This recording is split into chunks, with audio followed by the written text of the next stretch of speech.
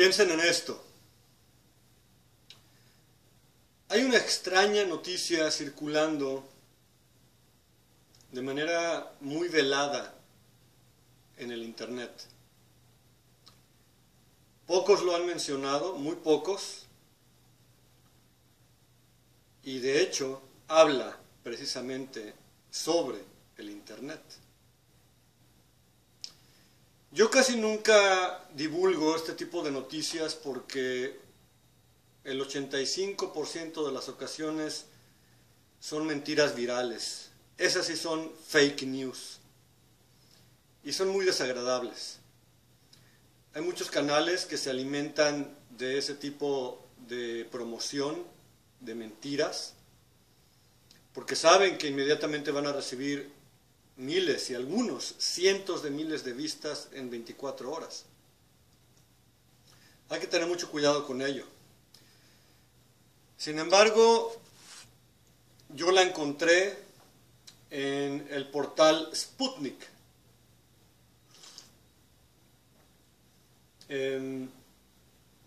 hace un par de días.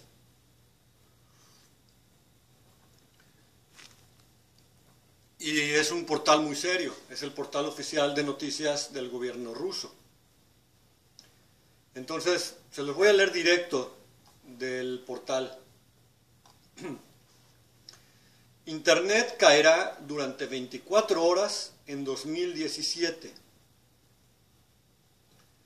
En algún momento de este año 2017, la red dejará de funcionar a nivel global durante 24 horas, algo que tendrá efectos desastrosos, pronosticó James Carter, vicepresidente de la empresa de seguridad tecnológica Lockrhythm citado por Business Insider.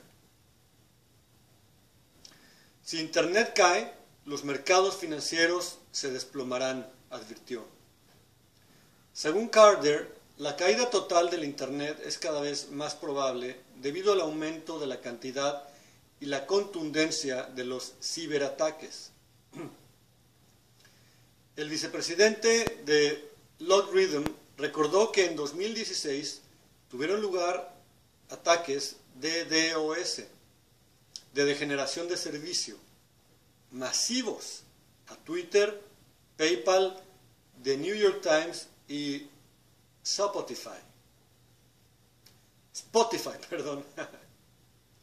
Y luego viene un recuadro que dice, si puedes demostrar que eres capaz de tumbar páginas web masivas y una gran cantidad de ciberespacio, de Estados Unidos durante varias horas, un apagón total durante 24 horas parece sencillo de conseguir, observó. El experto afirmó que estos ciberataques también podrían dirigirse contra algunos medios de comunicación. El poder de influencia está empezando a dejar de estar en las manos de los medios mainstream. Y esto es algo que no creo que estos medios se puedan permitir. Responderán a las amenazas que suponen los sitios de noticias falsas, tratando de implementar algún tipo de control de las publicaciones. Y eso parece que supondría llevar las cosas demasiado lejos, afirmó. Esto es muy serio.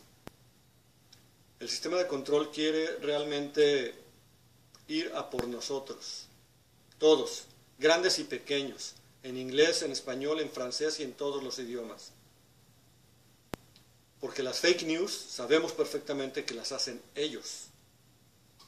Y nosotros estamos ayudando a divulgar lo que encontramos en otras dimensiones de realidad, de verdad.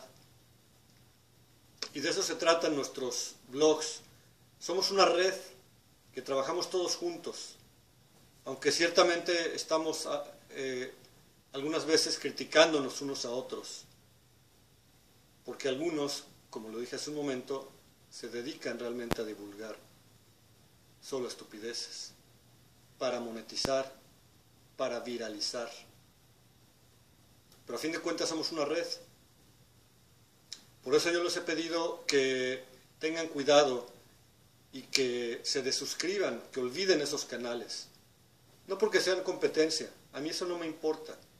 Ustedes saben perfectamente que yo tengo una carrera, que yo tengo actividad, aunque haya troles que piensen que me la paso todo el día sentadote. Tengo muchos planes y proyectos. Mi currículum lo demuestra por sí solo. No es competencia lo que me preocupa. Lo que más me angustia es que cada vez hay más canales y blogs que saben que se monetiza fácilmente si esparcen estupideces haciendo videitos fancies con slideshows y ediciones baratas, guiones mal leídos además. Ese es el problema. Y por eso nos están apuntando ya a la cabeza. Tenemos la obligación de no permitir que pase ni el bloqueo de nuestros blogs, ni la disipación de rumores de que somos nosotros los que hacemos fake news, porque en realidad es el sistema de control, como ya lo dije, y cuidar que la divulgación independiente y alternativa no tenga ese tipo de virus de canales estúpidos. Y esos canales se mueren simplemente cuando uno se desuscribe. El problema es que muchos de ustedes, muchos cibernautas, por millones, muchos de ustedes entre los 15 y 30 años de edad, siguen siendo demasiado estúpidos, demasiado ignorantes, demasiado susceptibles a caer en el engaño, en la emoción, demasiado viscerales, muy poco cultos. Realmente eso es muy grave, con muy, muy poca cultura. No leen, no van a museos, no van a exhibiciones de arte, no van al teatro, no conocen nada sobre filosofía, sobre historia universal, y no les importa. Pero eso sí, conocen mucho, mucho sobre los Illuminati, porque lo ven en esos canales. Y no voy a mencionar nombres, ustedes deben de enterarse cuáles son. También saben mucho sobre todas las eh, conspiralocuras que esos canales transmiten. Ya son expertos en eso, pero no saben nada de historia. No conocen nada sobre historia de la religión, sobre historia del arte sobre ciencias políticas, sobre la ciencia del debate. Y no es necesario tener un título universitario para saber eso. El Internet es vasto en información al respecto. Entonces, una vez más, ustedes son los responsables de que las fake news, porque sí existen de este lado también, del lado alternativo e independiente, se hagan tan virales y tan famosas. A ustedes les encanta ver pendejadas. Depende de ustedes a quién van a apoyar, de qué lado están. Porque hacer ese tipo de cosas, ser tan ignorantes y tan incultos, es también ser parte del enemigo. Y como siempre digo, que se ponga el saco al que le quede. Porque aquí no estoy troleando ni insultando a mi audiencia. Les estoy dando un sermón, una lección para que abran los ojos. Y no todos lo necesitan, porque aquí en mi audiencia también tengo mucha, muchísima gente muy capaz, muy inteligente,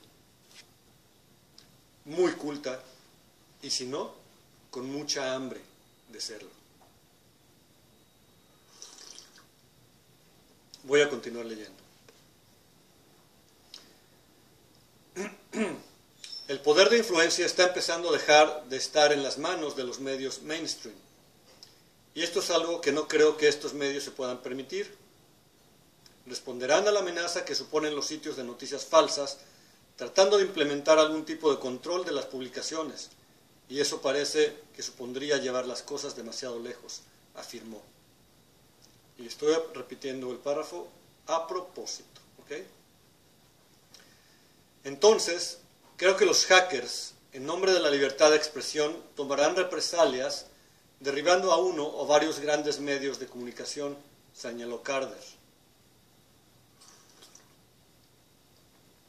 Asimismo, el director de ventas de la sucursal australiana de Rhythm, Simon Howe, advirtió del aumento de ataques contra los teléfonos móviles en 2017, mediante un programa malicioso que mantiene los datos personales de los usuarios como rehenes. Los hackers amenazarán con publicar o borrar las fotos de las víctimas hasta que paguen un rescate. Solo imagínese cuánto pagaría la gente por recuperar sus fotos, concluyó. Esto es grave, de veras que sí. ¿eh? Y yo les puedo mostrar, por ejemplo, una pequeña nota, también de Sputnik, a la cual nos invitan a acceder a través de este artículo. Esta es del, ya tiene rato, del 18 de noviembre. Uno de los mayores operadores británicos de telefonía móvil, Three, admitió que los hackers habían accedido a los datos personales de millones de usuarios, informó el diario The Telegraph. Perdón, en el título es Hackers acceden a datos de 6 millones de usuarios de telefonía móvil en Reino Unido. Fuentes familiarizadas con el asunto dijeron al periódico que el hackeo pone en riesgo a unos 6 millones de usuarios, dos de cada tres con que cuenta la empresa.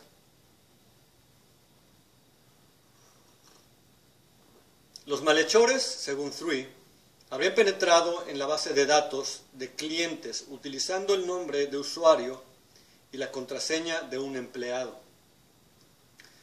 La información eh, comprometida incluye nombres, números de teléfono, domicilios y fechas de nacimiento, pero no datos financieros. El periódico señala que un incidente similar de octubre de 2015, cuando los hackers accedieron a la información de 150.000 usuarios del proveedor de servicios de telefonía e Internet TalkTalk, incluyendo los datos bancarios de unas 16.000 personas, le valió a la empresa una multa de 400 mil libras esterlinas. Entonces, imagínense ustedes realmente lo que se nos viene. Y ese es el problema. El mundo de hoy vive tan, pero tan eh, sujeto ya a la vida a través de las redes de Internet, que la sociedad entera sí puede llegar a colapsar en algún momento. Eso es muy, muy peligroso. No vale la pena arriesgarse. Sin embargo, ya estamos dentro todos. El mismo sistema de misiles nucleares de las potencias mundiales como Rusia y Estados Unidos. Los datos financieros de los bancos más grandes, incluyendo el Fondo Monetario Internacional y el Banco Mundial. Bancos de datos de todas las instituciones de Hacienda y recaudación de impuestos. Los datos de seguro social, de seguros médicos todo, todo está conectado a la red. Son muy pocos los sistemas de Internet independientes que existen para comunicarse solo entre ellos. El Pentágono, la CIA, el FBI, el MI6, la Mossad, los servicios de inteligencia canadienses, CISUS, los servicios de inteligencia franceses, alemanes, rusos, todos están conectados a la red. Lo necesitan, tienen que estarlo para espiarnos.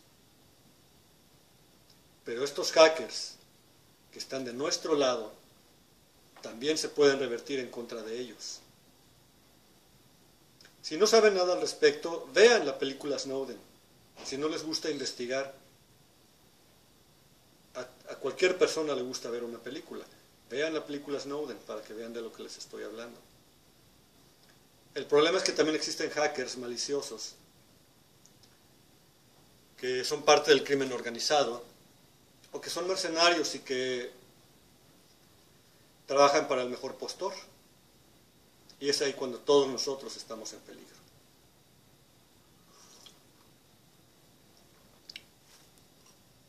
¿Qué podemos hacer? Ciudadanos, seres humanos como ustedes o como yo, no somos expertos en vigilancia, no somos expertos en proteger nuestros sistemas. Simplemente los protegemos con passwords lo más irreconocibles posible. Pero todo eso se puede hackear. ¿Qué podemos hacer? ¿En quién confiar? ¿O cuál es la solución? Hay muchas, pero todo depende de cómo lo tomemos. Por lo pronto yo les dejo esta nota que es muy, muy importante, creo yo, y es real. Y les agradezco mucho sus aportaciones en PayPal y Patreon. Recuerden, el icono aquí para Patreon y para PayPal en la descripción del video. Piensen en ello.